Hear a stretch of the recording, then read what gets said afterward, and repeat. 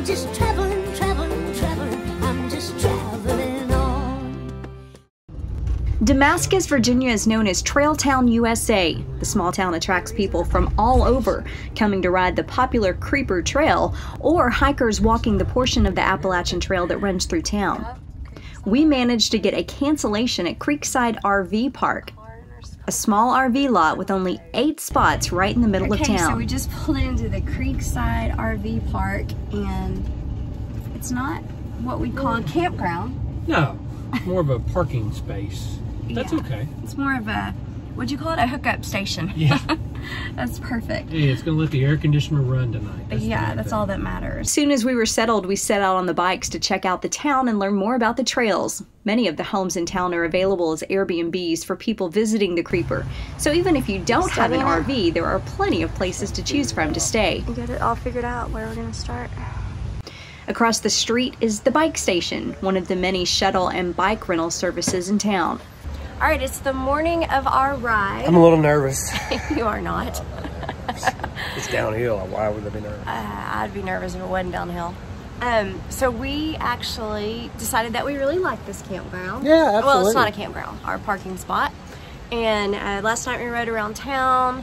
The town of Damascus is adorable. And um, right now we're gonna walk our bikes over to the bike station. Just right across the street. Yeah, which You is get a 10% discount? Yep, 10% discount if you stay here.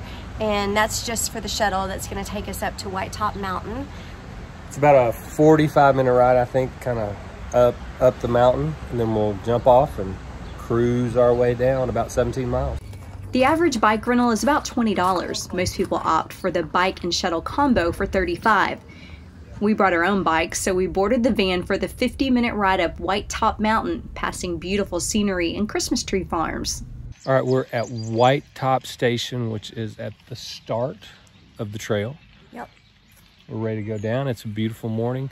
We came here this week primarily because we wanted to get out of the heat and humidity, and for the most part, I think that worked. It was 65 degrees this morning.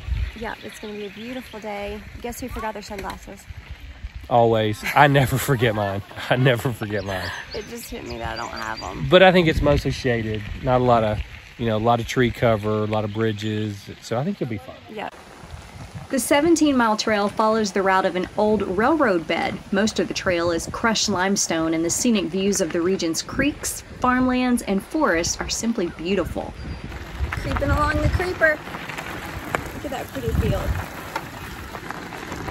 I love it when we just drive through like somebody's front yard. As we just did. yeah, all these beautiful country homes. Virginia is so pretty. The entire ride is slightly downhill or completely flat, which allows you to coast for much of the ride.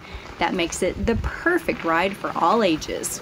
Okay, this is, I think, next to last stop before we get back into Damascus. You can see we got a little food place here. A lot of people stopping, getting ice cream, getting sandwiches, and it's really the only place to get food we've seen on the. There's a Yeah, there's a little snack shop early on, but it was too early, so we just kind of kept going. This is called Taylor's Valley, and so this is um, a good place to eat. But we brought power bars and water, so we're just kind of sitting here on this little rock and hanging out and um, ready to get back on the trail. But you know, I was just telling you that one of my favorite things has been seeing people of like all ages on here. We have seen um, grandmas and grandpas, definitely lots of senior adults, little bitty kids. Um, honestly, anybody can do this trail, um, and it has been so much fun.